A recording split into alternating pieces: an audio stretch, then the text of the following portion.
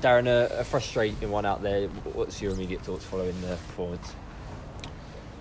Just disappointed that we didn't get a goal to warrant some of our play today. Um, I thought we was very good, and it's just a shame that we haven't managed to put the icing on the cake with a with a with a goal that would have warranted. We'd we'd have, we'd have deserved to win today because we've been very good, very dominant today. Um, some of our passages we play were very good. Obviously, with the with, with the change of shape, we look nice and solid defensively. Um, but I'm frustrated that we haven't gone on and won the game. Looking at the positive, we were very solid at the back today. A uh, big part of that return of Dan Sweeney, put in a great performance, and it, it was like he was never gone. Yeah, no, listen, he, he, has been a miss for us, hasn't he? Um, so we, we look nice and solid defensively.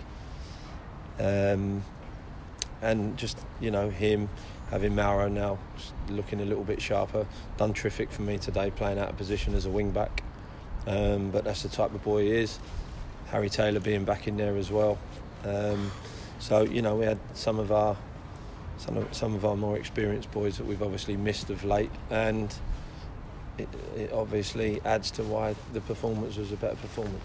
A frustrating one out there for Alfie Pavey up top. Is it just a case of him getting that first goal and then they'll all come in? Yeah, I think he'll get goals. I do. You know, he, his overall play was better today.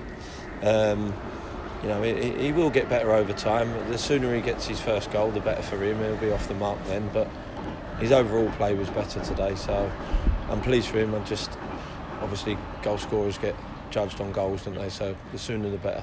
Is there a bit of frustration looking back at the second half of that game? It seemed we were the only side really going to push for that three points, and it seemed the visitors were happy to take a point from that one. Yeah, I mean the, the, the second half we was we was pushing for the win. Mm. You know, we had a couple of chances. Certainly, Callum Reynolds won in the first half that he maybe should have scored from.